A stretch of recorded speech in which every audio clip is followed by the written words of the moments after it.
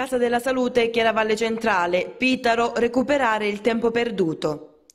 Gestione della sanità nel comprensorio delle Preserre. Per il consigliere regionale Francesco Pitero, del gruppo misto e componente della Commissione Sanità, è arrivato il momento di recuperare il tempo perduto. Il riferimento è alla Casa della Salute, progetto che da qualche anno si è arenato per via di una politica sanitaria miope nei confronti dei territori.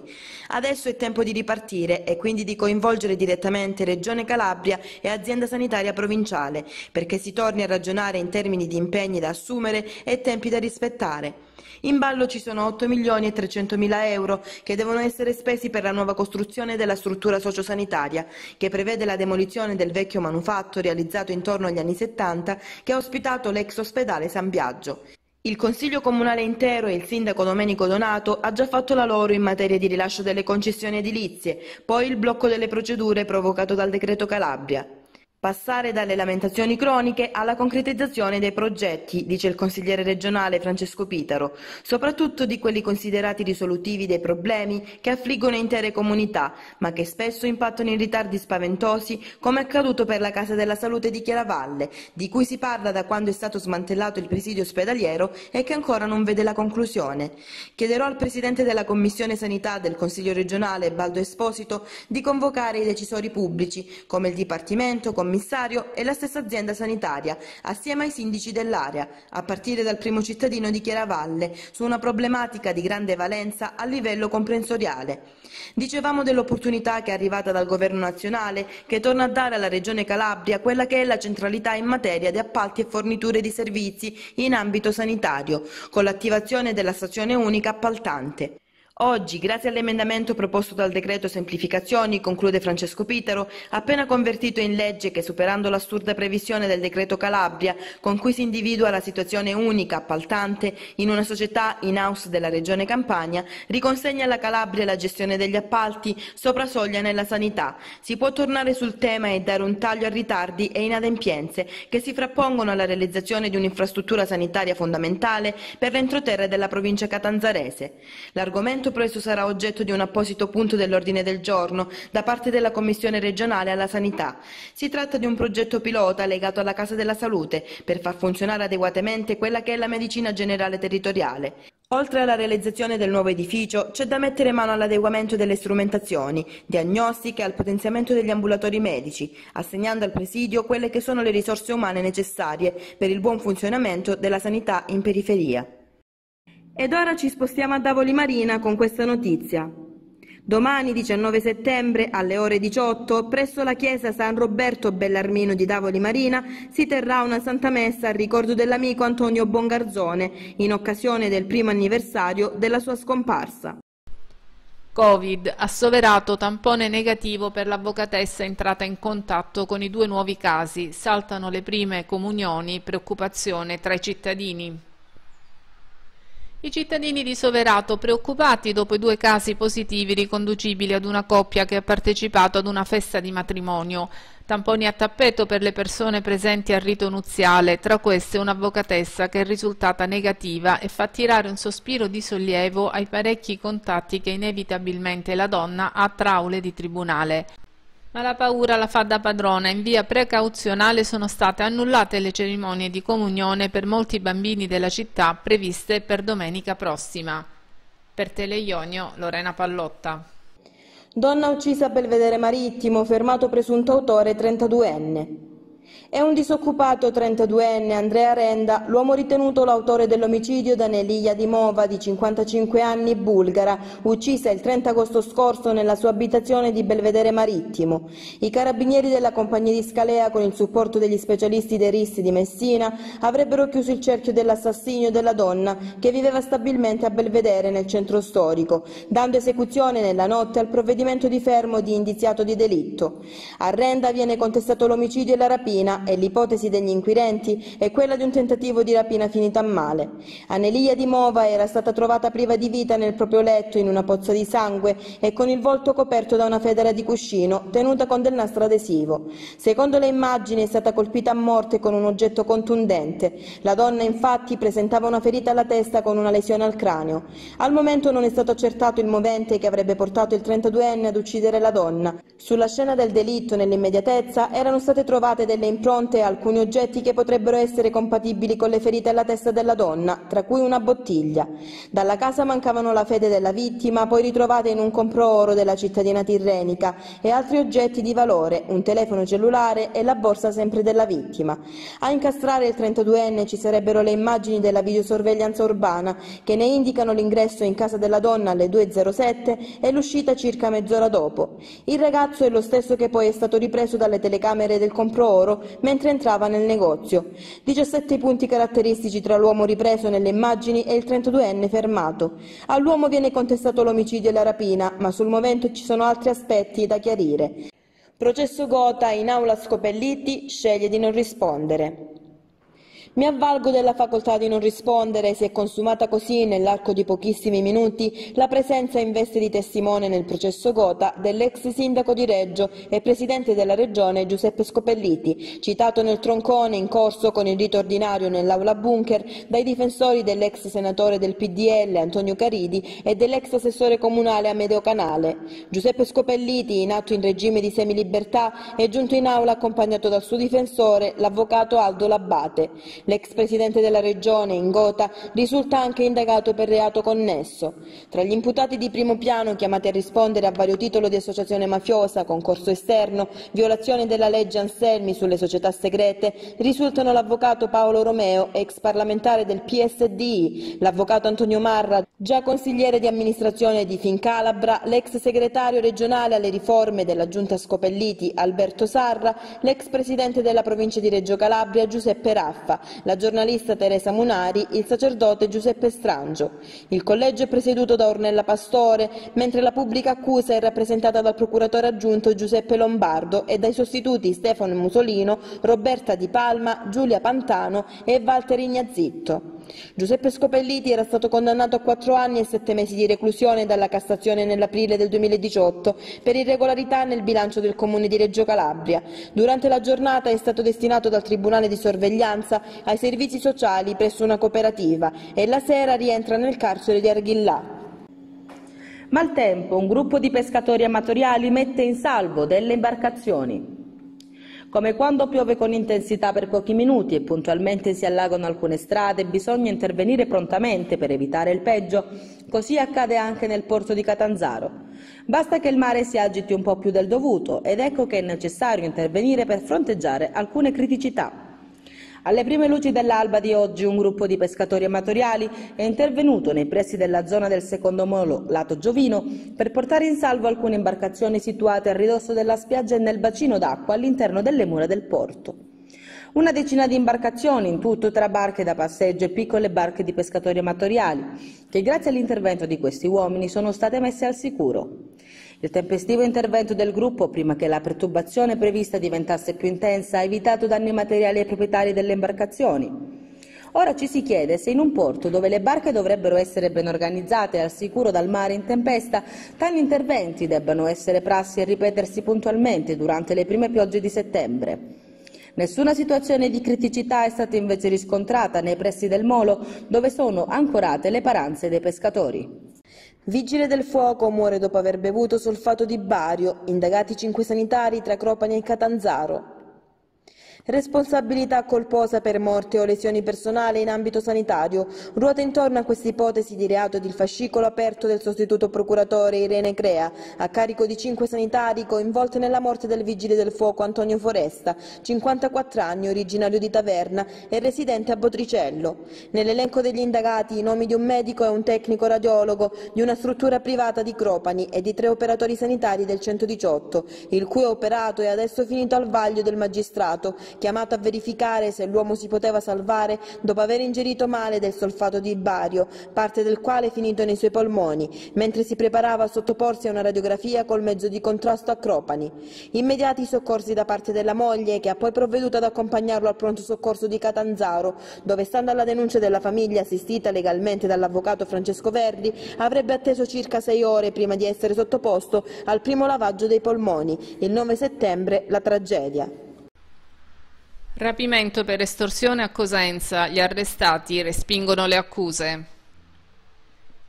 Hanno risposto alle domande del GIP e hanno respinto tutte le accuse le tre persone arrestate lunedì scorso dalla polizia a Cosenza con l'accusa di aver rapito due minori a scopo estorsivo. Stamattina si è tenuta l'udienza di convalida degli arresti. I tre, Laura Spampinato, Francesco e Daniele Bevilacqua, tutti trentunenni, secondo quanto ricostruito dagli inquirenti, avrebbero prima malmenato un mobiliere del Catanzarese dopo avergli dato un appuntamento a San Lucido e poi sequestrato i due figli portandoli a Cosenza. I tre avrebbero chiesto denaro come ritorsione per il ritardo nella consegna di alcuni mobili. La Procura di Cosenza ha chiesto la convalida dell'arresto e la detenzione in carcere. Per domani è attesa l'ordinanza del giudice. Per Teleionio, Lorena Pallotta. Tentano di rubare in un fast food a Catanzaro due arresti. Tentato furto ad un fast food, nella notte tra mercoledì e giovedì i carabinieri di Catanzaro Santa Maria hanno arrestato nella fragranza di reato di tentato furto aggravato BC 49 anni, pluripregiudicato, formalmente residente a Lamezia e BFP 17enne, residente dell'area sud di Catanzaro. I militari della stazione di Catanzaro Santa Maria, nel transitare con una pattuglia automontata in via Lucrezia della Valle nei pressi del centro commerciale Le Aquile, hanno notato uno strano movimento di persone nei pressi del fast food che si trova in quel centro commerciale. Per controllare la situazione sono intervenuti notando due figure che armeggiavano nei pressi di una porta dell'esercizio commerciale.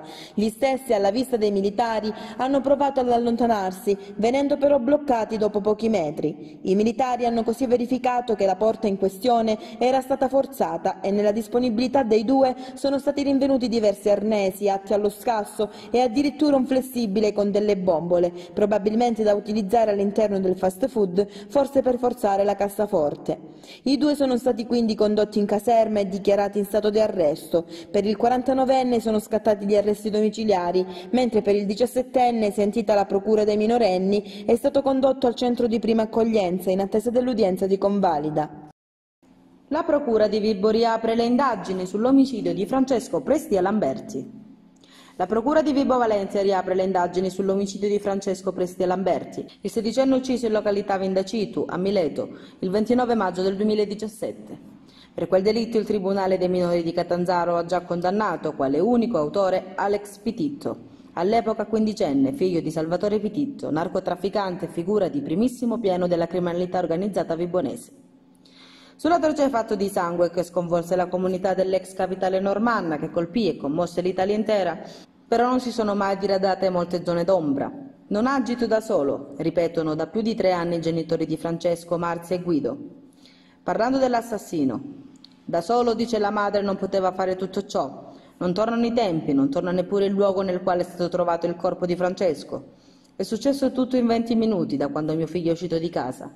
In venti minuti non potevano arrivare in aperta campagna, picchiarlo, ucciderlo, tornare, nascondere la pistola. Sono tanti, tanti i punti che non tornano. Da Carla Elisabeth Taverna per Teleionio.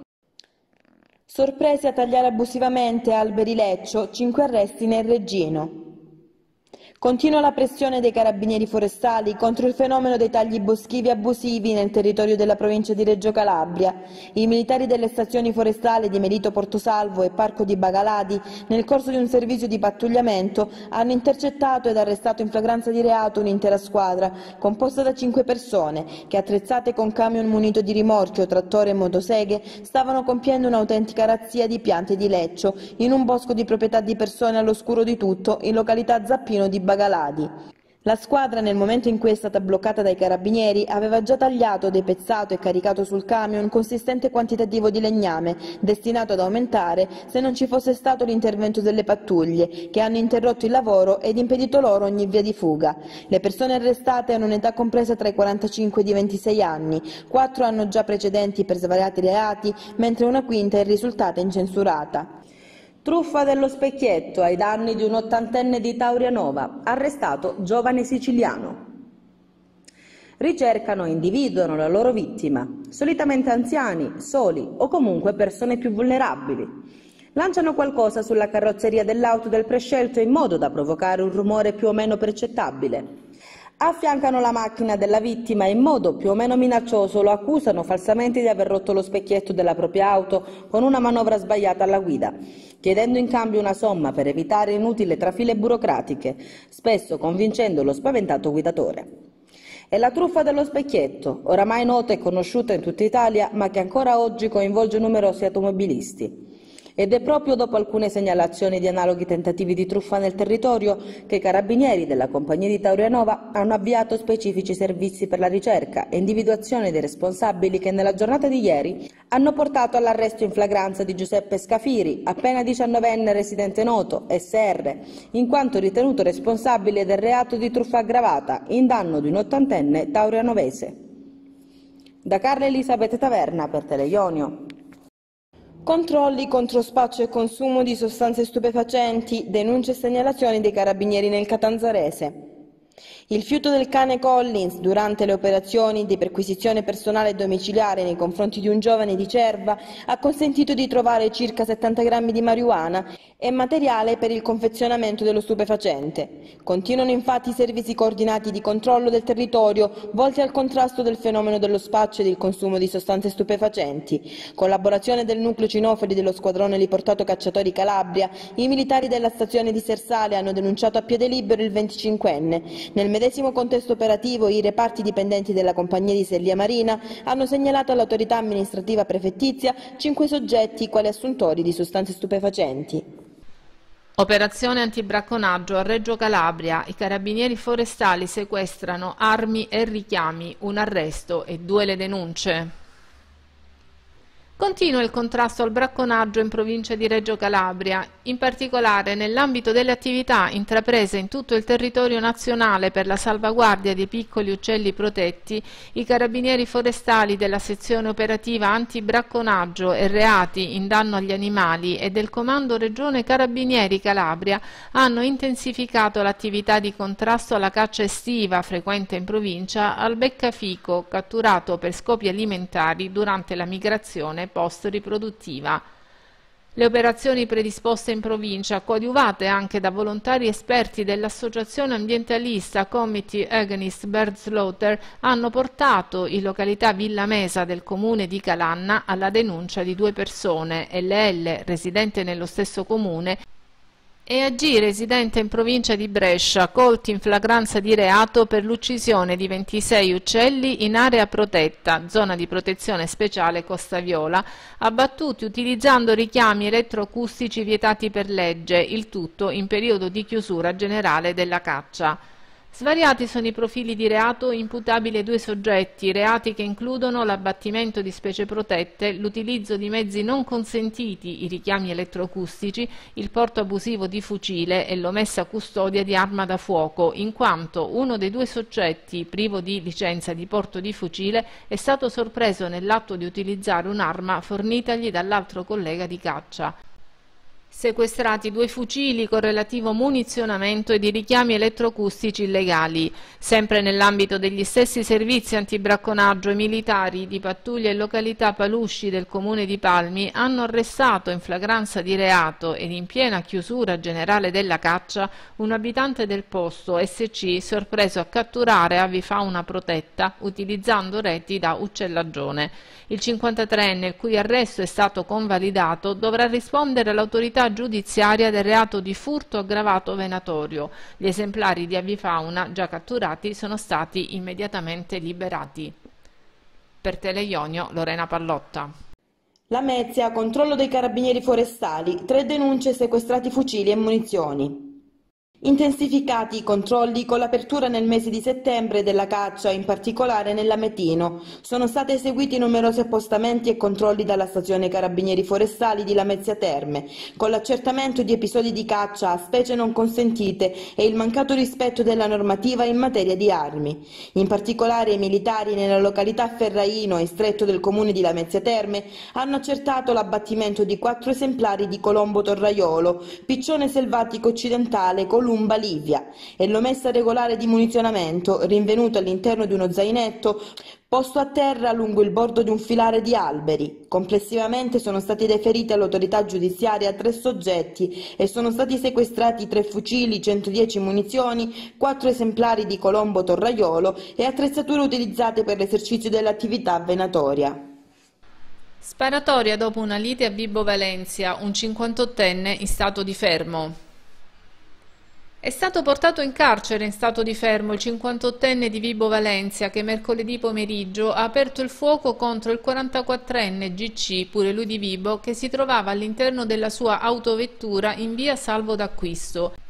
Il 58enne PF si trova in stato di fermo con l'accusa di tentato omicidio dopo essersi consegnato spontaneamente in questura ed aver confessato di essere l'autore della sparatoria, nata da futili motivi e liti condominiali. In particolare il fermato ha raccontato di essere stato pesantemente minacciato da GC e di essersi quindi armato poiché intimorito. I due si sono incrociati per strada in località Feudotto dove, dopo un violento diverbio, PF ha esploso tre colpi di arma da fuoco a bordo della sua auto in direzione dell'auto del rivale, colpendo quest'ultimo al torace. L'uomo recatosi al pronto soccorso è stato dimesso con una prognosi di 30 giorni. La squadra mobile di Vibo, con l'ausilio dei carabinieri, ha quindi portato il PM Eugenia Belmonte a disporre il fermo di indiziato di delitto. Per Teleionio, Lorena Pallotta. Ed ora ci fermiamo per una breve pausa. A tra poco. Lamezia furto in un negozio di slot machine, bottino 250 euro. Furto con scasso alla Lamezia nei pressi di Via Colelli, secondo quanto appreso ignoti hanno divelto un distributore di moneta all'interno di un esercizio di slot machine, portando via 250 euro. Indagini sono in corso da parte della polizia anche attraverso l'ausilio di alcune telecamere presenti nella zona. Area a vincolo paesaggistico trasformata in discarica e rifiuti smaltiti con incendio, due arresti a Reggio Calabria. Smaltivano ogni tipo di rifiuto combustibile, anche pericoloso, incendiandolo. I militari della stazione Carabinieri Forestale di Reggio Calabria hanno scoperto ed arrestato in flagranza di reato due persone che, in un'area di circa 2000 metri quadrati totalmente recintata, adibita illecitamente a discarica, incendiavano il pattume il tutto in un'area sottoposta a vincolo paesaggistico in località San Cristoforo di Reggio Calabria, nei pressi del torrente Calopinace. È stato proprio il fumo ad attirare l'attenzione dei militari, i quali, giunti sul posto, hanno trovato un'area totalmente recintata adibita a grande discarica di inerti, soprattutto edili, eternit e rifiuti di vario genere. All'interno c'era un uomo, OM di 51 anni, intento a smaltire, mediante combustione, qualsiasi cosa fosse in grado di bruciare anche materiali plastici fortemente inquinanti come ad esempio le guaine bituminose impermeabilizzanti. Successivamente è giunto il gestore dell'area FA, un 78enne di Reggio Calabria, già noto alle forze dell'ordine anche per gravi reati di tipo associativo. I due colti in flagranza di reato, i cui arresti sono stati convalidati, dovranno rispondere di reati ambientali come la gestione e la combustione illecita di rifiuti ed il getto pericoloso di cose su aree soggette a vincolo paesaggistico. Per Teleionio, Lorena Pallotta. Presentazione del progetto Asma Zero Week. Nonostante le difficoltà legate all'emergenza sanitaria ancora in corso, parte la quarta edizione del progetto Asma Zero Week. Mentre continuiamo ad adottare le precauzioni per limitare il contagio Covid-19, non dobbiamo dimenticare infatti che l'asma è una malattia molto diffusa. Nel mondo ne sono affetti 300 milioni di persone, con un impatto molto pesante dal punto di vista sociosanitario. La prevenzione e la cura dell'asma restano quindi fondamentali e una corretta gestione della malattia si traduce nel miglioramento della qualità di vita dei pazienti, nella riduzione della mortalità e nel contenimento dei costi a carico del sistema sanitario nazionale. Asma Zero Week è un evento nazionale promosso da Feder Asma e Allergie, Federazione Italiana Pazienti, con il patrocinio della Società Italiana di Allergologia, Asma ed Immunologia, Clinica SIAIAC e della Società Italiana di Pneumologia, SIP-IRS, in partnership con l'azienda farmaceutica AstraZeneca. L'iniziativa intende sensibilizzare i pazienti sull'importanza della prevenzione degli attacchi dell'asma attraverso l'adozione di corrette strategie terapeutiche e informare l'opinione pubblica circa i possibili campanelli d'allarme e i rischi connessi alla loro sottovalutazione. Essa è dedicata appunto alle persone con asma e dal 12 al 16 ottobre spalancherà le porte di oltre 40 centri specializzati in tutta Italia per offrire ai 3 milioni di pazienti italiani una valutazione dello stato della malattia. In Calabria, il centro di alta specializzazione di fisiopatologia e allergologia respiratoria di Chiaravalle Centrale, diretto dal dottor Gino Scalone, è l'unico centro che aderisce all'iniziativa. Qui dal 12 al 16 ottobre ogni giorno verranno offerte consulenze specialistiche gratuite ad 8 pazienti per un totale di 40 pazienti. Nel corso della visita verranno identificati i fattori che innescano o aggravano la malattia, fumo attivo e passivo, esposizione ad allergeni, inquinamento ambientale, utilizzo di alcuni farmaci, verranno implementate l'educazione appropriata del paziente e l'aderenza alle terapie. Per prenotare la visita occorre chiamare il numero verde 800 628989 dal lunedì al venerdì, esclusi i giorni festivi, dalle 9 alle 13 e dalle 14 alle 18, oppure rivolgersi direttamente al centro di alta specializzazione di fisiopatologia e allergologia respiratoria al numero 0967 999145 dalle 13 alle 14 dal lunedì al venerdì. Per Teleionio Anna Maria Colabraro. Processo Torno Subito 2 su assenteismo al comune di Reggio, 26 condannati. Con la condanna dei 26 dei 32 imputati si è concluso il processo Torno Subito 2, nato da un'inchiesta della Polizia di Stato sull'assenteismo nel comune di Reggio Calabria. Il giudice monocratico Andreina Mazzariello ha accolto in buona parte la richiesta della Procura della Repubblica, rappresentata dal Procuratore della Repubblica Giovanni Bombardieri e dall'aggiunto Gerardo Dominianni. Ai 26 dipendenti del comune condannati sono state inflitte pene varianti tra un anno e mezzo ed otto mesi di reclusione. Per due degli imputati assolti, Pasquale Boncore e Antonino Branca, è stata usata la formula perché il fatto non sussiste. Gli altri quattro invece sono stati assolti per la particolare tenuità del fatto. Si tratta di Antonino Pino, Maurizio Delfino, Sebastiano Gullì e Pasqualina Scuncia. Le indagini della Procura hanno rivelato che molti impiegati del comune erano soliti attestare la propria presenza sul luogo di lavoro, dal quale poi si allontanavano senza un giustificato motivo, procurandosi così un ingiusto profitto. Incendi a Scalea e San Nicolarcella, in fiamme diversi ettari di macchia mediterranea. Squadre dei Vigili del Fuoco del Comando di Cosenza sono impegnate per domare alcuni incendi che si sono sviluppati lungo il litorale tirrenico nei comuni di Scalea e San Nicolarcella. Ad essere interessati dalle fiamme diversi ettari di macchia mediterranea e zone boscate. I numerosi fronti di fuoco già dalla tarda serata di ieri stanno impegnando le squadre dei distaccamenti Vigili del Fuoco di Scalea e Rende, squadre boschive dell'azienda Calabria Verde ed un direttore delle operazioni di spegnimento per coordinare tutte le unità di terra ed un idrovolante.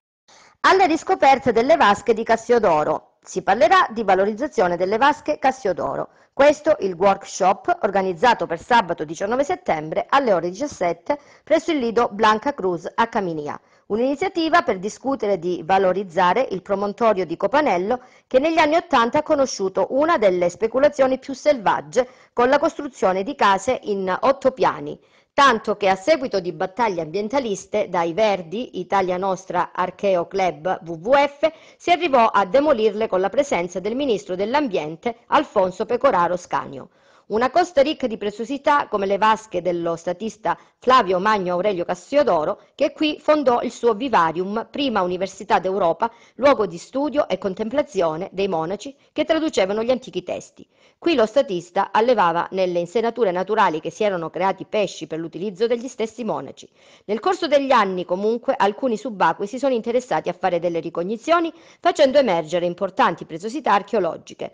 Ora, grazie alla sensibilità dell'imprenditore Giovanni Gatti e all'interessamento del padre Libero Gatti, già presidente della locale sede dell'Archeo Club, crearono il primo deposito archeologico che conteneva reperti del frutto delle campagne e scavi sul promontorio, ora in attesa dell'apertura della struttura museale a Palazzo Aracri. La giornata prevede due momenti, il primo nella mattinata, ricercatori accreditati faranno monitoraggi sulle vasche anche tramite immersioni subacquee. Nel pomeriggio invece si svolgerà svolgerà questo incontro dibattito alla presenza di numerose personalità del mondo scientifico.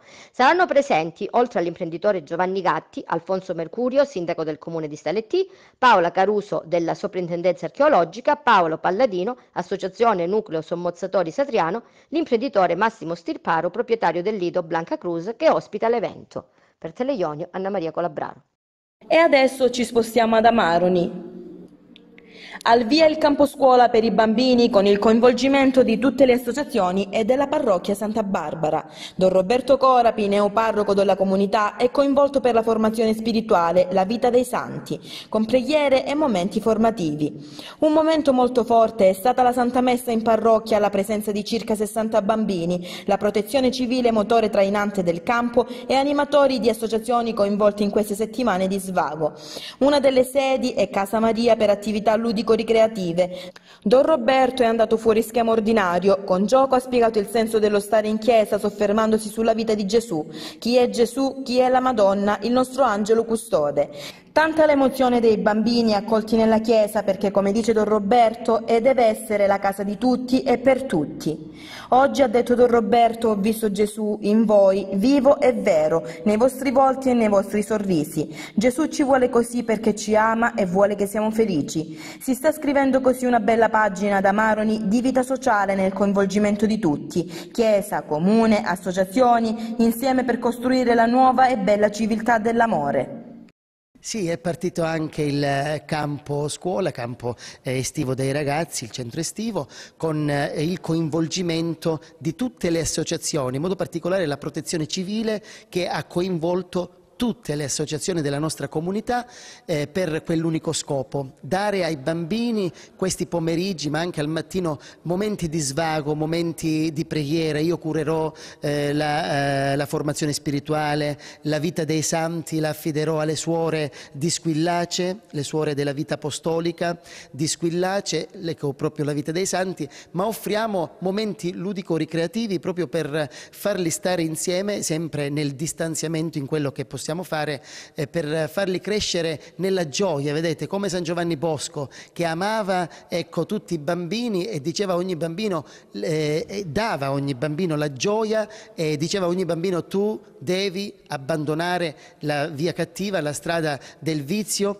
per innamorarti sempre di più di Dio. Noi dobbiamo dare Gesù alla gente, le altre cose eh, li danno fuori e le danno anche bene. Noi dobbiamo dare Gesù alla gente perché oggi il mondo, l'uomo ha fame e sete di Dio. Quindi questa è la missione del sacerdote, l'annuncio della parola del Signore, convertire il cuore e le anime e portare proprio le anime a Dio. È quello che mi sto impegnando, sforzando in questa comunità eh, di Amaroni, nella continuità ecco, mia, eh, dei miei anni di pastorale a, a Staletti. Oh, porto ogni ricchezza, porto ogni grazia, ma porto la la gioia del cuore, quello dobbiamo avere, la gioia proprio dello stare insieme, la gioia di Cristo e anche nel dolore, vedete la Beata Vergine Maria ci porta ecco, ad adorare il Signore Gesù. Lei ci porta da Gesù ad amarlo e a servirlo sempre di più.